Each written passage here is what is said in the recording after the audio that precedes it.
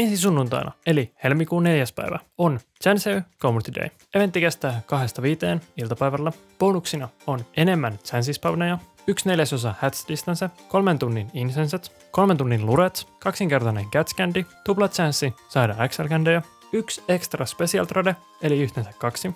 Tradettamiseen menee vain 50 prosenttia Stardustia siitä, mitä normaalisti menee. Eli normaalisti se on normipokemonella 100, niin nyt se on 50. Kun sä evolvaat Chanseon Blissiksi, se oppii iskun Wild Charge.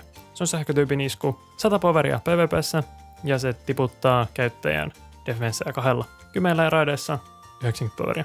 En tiedä tuleeko tämä olemaan mitenkään hyödyllinen isku, koska kukaan ei käytä Blissiä PvPssä ja sen defensen tiputtaminen olisi oikeastaan vaan huono, kun defense on sen ainut juttu. Tai tarkemmin ottaen HP on se sen juttu, mutta jos sä tiputat defenseen, niin se ottaa vain enemmän damagea. Sitten on photobomb, eli kun sä otat kuvia sun puttystä tai muusta Pokemonista, niin sieltä voi tulla Chansey. Tai vissiin tulee viisi ekaa kertaa. Sitten on Pokestop Showcaseja. Chansey ja Blissi on niissä, eli isoin Chansey tai Blissi voittaa sen showcasein. Eli sinne sitten vaan niitä Huge-Pokemoneja, XLiä ja XXLiä. Tosiaan Chansey spawnaa enemmän. Kahden kilsa munista, jotka sä oot saanut sen eventin aikana, tulee Happynyä. Happy voi olla shiny. Mä en tiedä, onko sen shiny reitti sama kuin Chansin, eli 1.25, mutta se on varmaan boostattu joka tapauksessa. Eventin jälkeen tulee neljän tähden Chansi-raideja. Jos sä raidaat tällaisen raidin, niin 30 minuutin ajan siinä sen salin ympärillä alkaa spavnaamaan Chansia.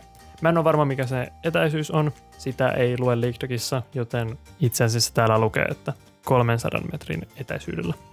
Se on vissiin tota, toi yhteensä, eli sitten niinku, okei, okay, mä en tiedä, 300 metriä etäisyydellä mennään sillä. Tämä tosiaan kestää viidestä kymmeneen. Ja näitä raideja ei voi raidata remotepassilla. Ja näillä chanceilla on samat shiny chanceit kuin niillä, mitkä spawnaa tota, sen eventin aikana. Field Researchista sun pitää kätsätä kolme chancea.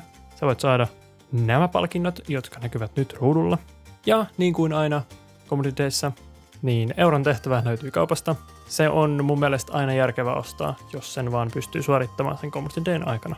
Se ei tosiaan paljon vaadi. Pelaat joku 20 minuuttia vähintään, niin sä saat sen tehtyä. Siitä tehtävästä tulee tosiaan myöhemmin sitten ne Leakdockin tiedot, että mitä siinä pitää tehdä ja mitä saa palkinnoksi. Ne on yleensä tosi samanlaisia, eli kätsät vähän transferat ja evolvat. Tässä on Happy Shiny, tässä on Chance Shiny ja tässä on Bliss Shiny.